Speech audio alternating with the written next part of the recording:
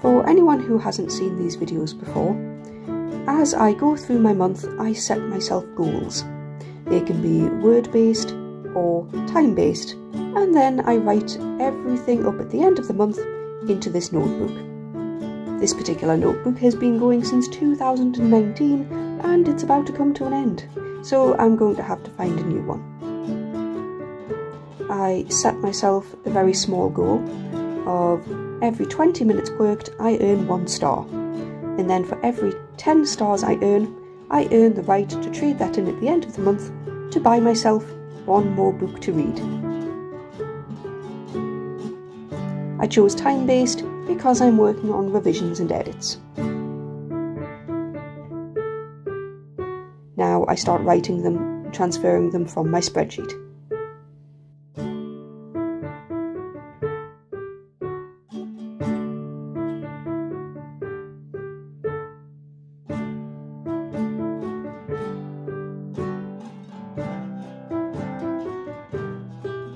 The start to the month was quite rocky because I've ended up having to move out and I needed to save up all my energy for the taxi journey.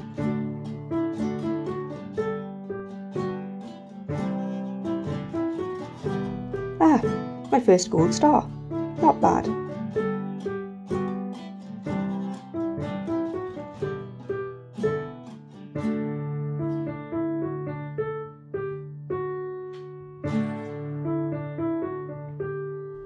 Anytime I attempt work but don't reach the amount required, the word count goal, or time based, if it's not enough for a star, I give myself a smiley face for the attempt.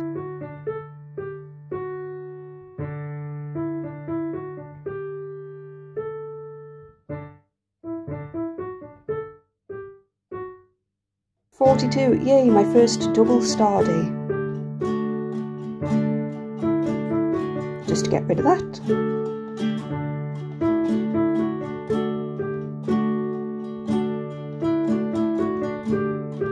And now we start a new sheet of stars.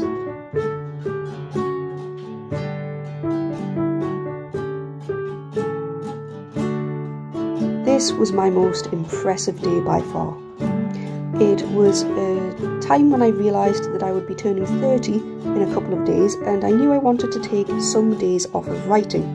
So I panicked and tried to make up for the lack of writing I knew would happen. Oh, got five stars needed. And I've got them. Yep, that's it. And the 10th star.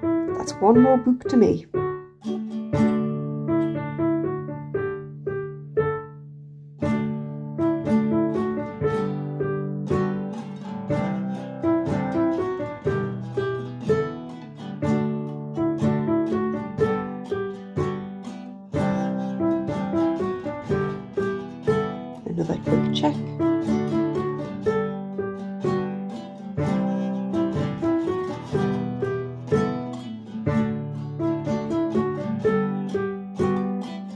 There we go again. Another 10th star. Brilliant. Lots of new reading material to keep me going. I checked on my Amazon wishlist. I actually have over 70 books waiting to be earned to buy, not counting what I already have on my Kindle and Audible as a backlog to listen to, and fan fictions.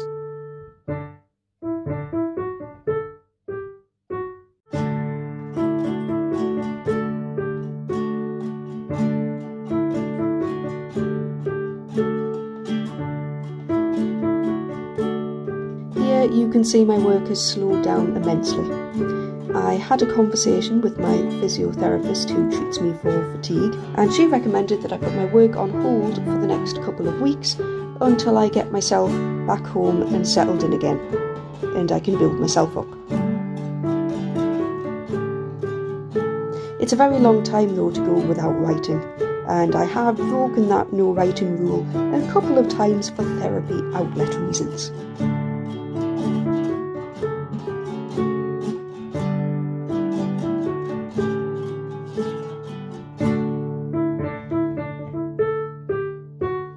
Just doing some quick maths.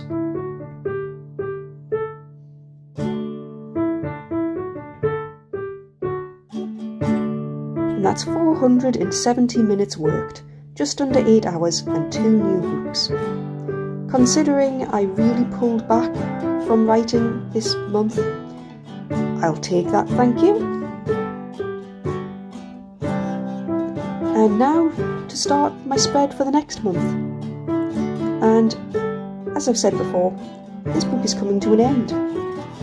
I'm going to have to find a new notebook now to start writing in.